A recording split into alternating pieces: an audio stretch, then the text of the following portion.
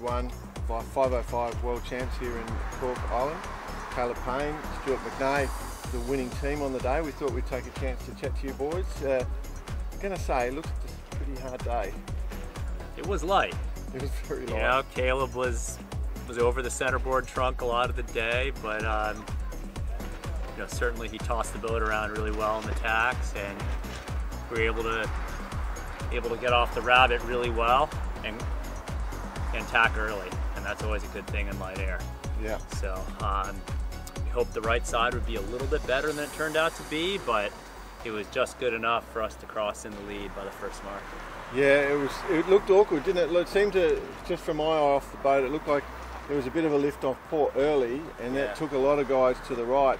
And you could see something out there on the horizon on the right, but it sort of never really gave much to bring you back. But you got back better than the other guys, so um, it was close because your your what seems to be your your partners in crime, Nathan Batchelor and Sam Pascoe, were right behind you for most of the race, and then at the bottom mark at the gate. I think they were doing turns. I don't know what quite happened, but I'm pretty sure they were doing turns, and that gapped you out a little bit. Were you ever stressed, or was it um, pretty comfortable once you got that lead? Yeah, no, actually, one of the things that Stu and I wanted to work on from the pre worlds was our downwind speed. And I think we, uh, we fortunately figured out a bit of a different mode than the light stuff. Um, and yeah, we were, we were able to hold our lane a lot, lot, lot better than the past, and uh, seem to be more comfortable than we were. in the pre-worlds. Yeah. Um, so you guys are new into the 50, so 470 sailor, four Olympics, Finn sailor, so extra handsome obviously because of being a Finn sailor and the Olympics bronze medalist. Um, why, why have you jumped into the 50?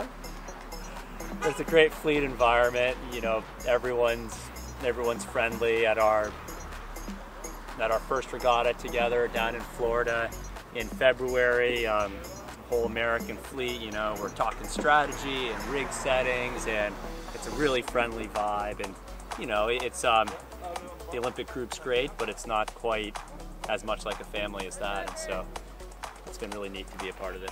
Uh, I do want to call up our second place team from the pre-worlds because uh, they weren't here for prize giving, so they have to bring the whole fleet of beer and come on up and collect their trophy from uh, the pre-world. So Stuart McNay and Caleb Paine from the US, congratulations on coming second at the pre-world. And you might as well stay today.